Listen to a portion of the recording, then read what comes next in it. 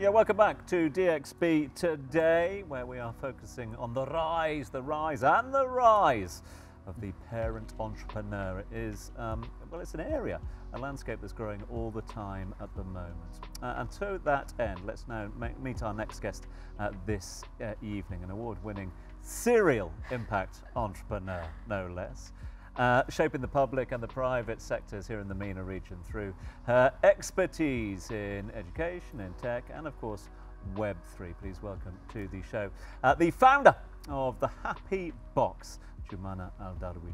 Jumana, Jumana, always good to see you. Thank you so much for having me. I'm welcome. so excited. Welcome, good welcome. To have you here on the sofa. Good to have you on the show as well. And celebrating a very significant anniversary as well. Absolutely. 10 years of happiness. The box is uh, 10 years 10 old. years. Um, it's a decade of happiness. A decade of happiness. will take us back. Let's take. Let's open that box up. And and why? Why? Why did you create the Happy Box ten um, years ago? So I saw actually I found a gap in the market at the time Dubai and the UAE, actually, there was an influx of migrants and especially families. And I thought of bringing the Happy Box to the UAE and the community here because of the art-centric nature and then also providing opportunities for families to bond together.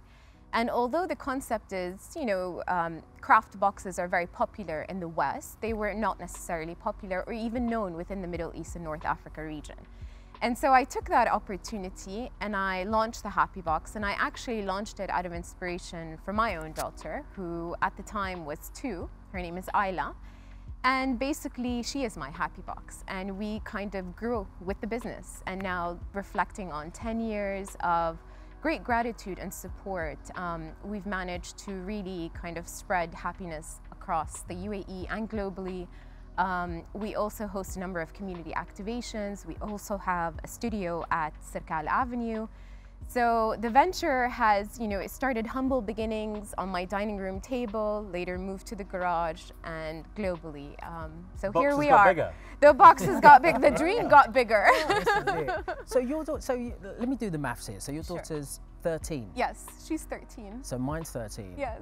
Joelle's Mine is daughter's 13. 13 as well. There must have been something in the water around those. Yeah. You, you've all experienced the happy box We at have, some we point. have indeed. I remember it was great times. So you would say your daughter is the inspiration behind Happy Box, would Absolutely. you say?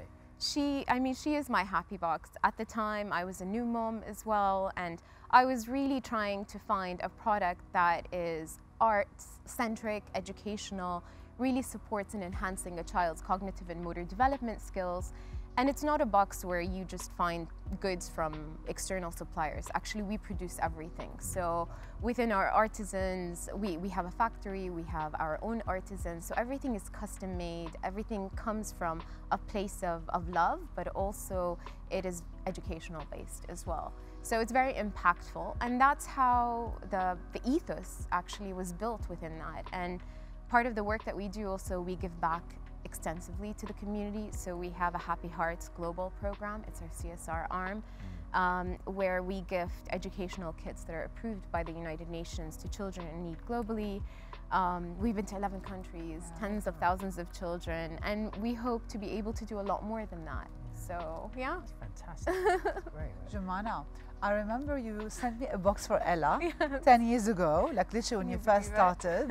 and I remember I fell in love with the concept, not only that this was something that I was going to enjoy with Ella, and like it's going to make me bond even more with my daughter, but also the fact that it was giving back to the community. But I wanted to ask you, at the time I remember, and I remember very well, Mm-hmm. it was very girly, the box. Did you have boxes for girls and boxes for boys? Absolutely. So over the years, we have transitioned as one would. You know, I think I was a bit biased at first because I have my own daughter, but we definitely, it's gender neutral.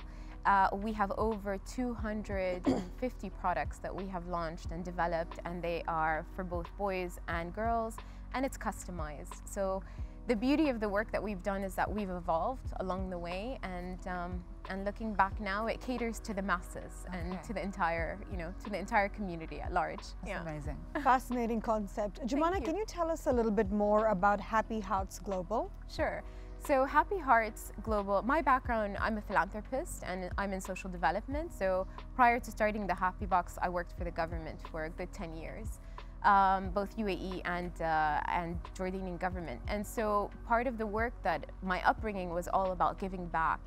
And so although the Happy Box, obviously there has to be a for-profit element to it, it is very much impact-based and it's all about giving back. And so when I became an entrepreneur, I could never really, I never saw myself as a for-profit entrepreneur.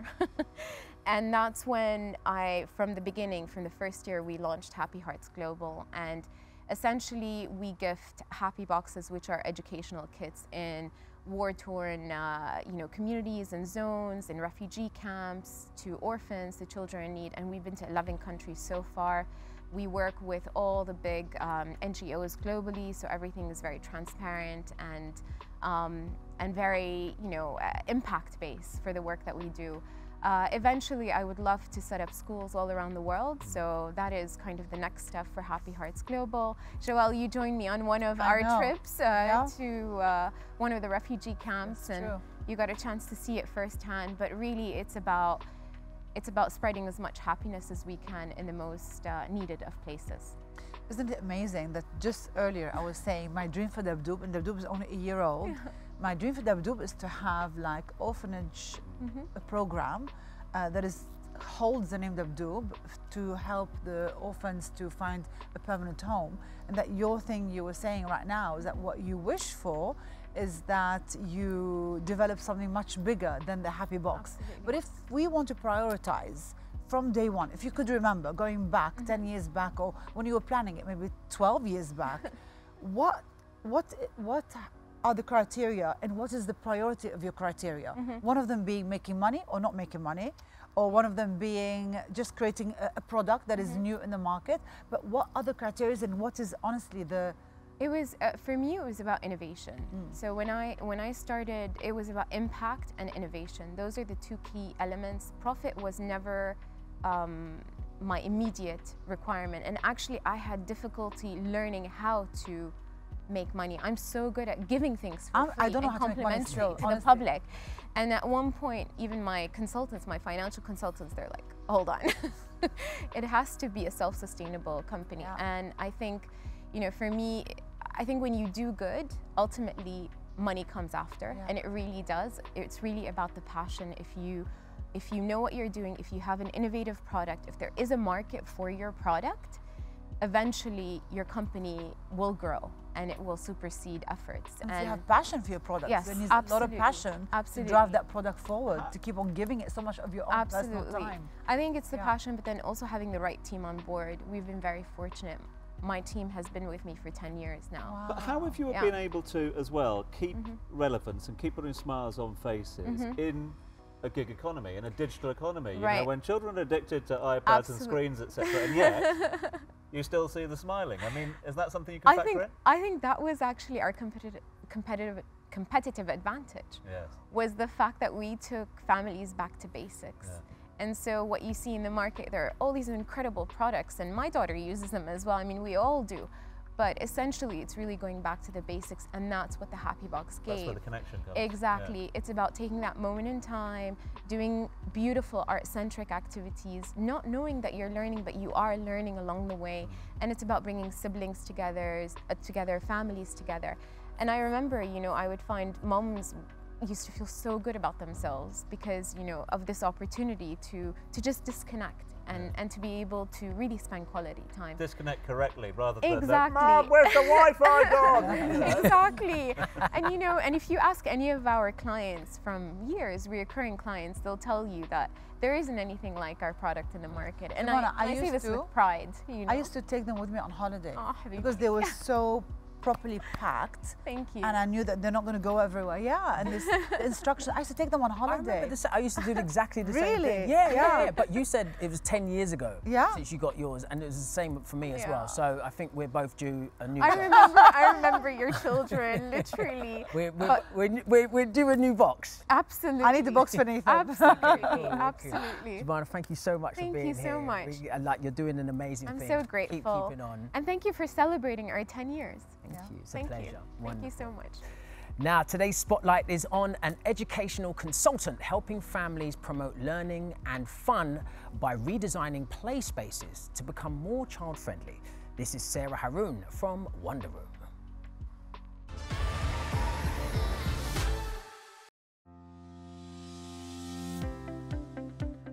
Hi, my name is Sarah Samawi and I'm the founder of Wonder Room.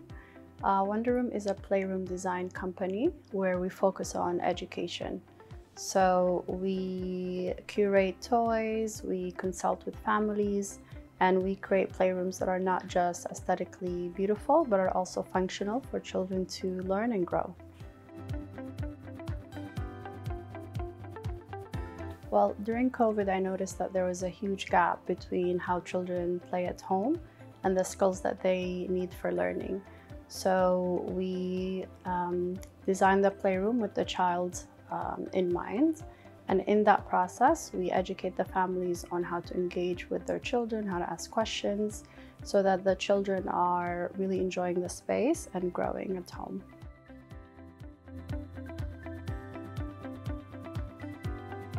Well, every playroom that is completed is a milestone that we celebrate. The families often uh, share with us how uh, their children are playing differently, they are happier, the whole family gets to enjoy the space. So that really means a lot to us and that's a milestone that we celebrate. We have multiple goals, but on a smaller scale would be to continue to expand and to provide our services to other Emirates. And on a larger scale would be to, inshallah, one day provide our services to uh, children, uh, children in developing countries. Um, I love Dubai. Dubai is home, away from home, and I've been here for seven years. Uh, I believe that Dubai is a space that allows for everyone to be here, to grow, to really chase any dream that they have. It is a place that is inclusive and really support uh, small businesses. Time for a quick break. Coming up, we meet the team behind Baby Expo. Plus, we hear the remix of the classic song Desert Rose. So don't go anywhere.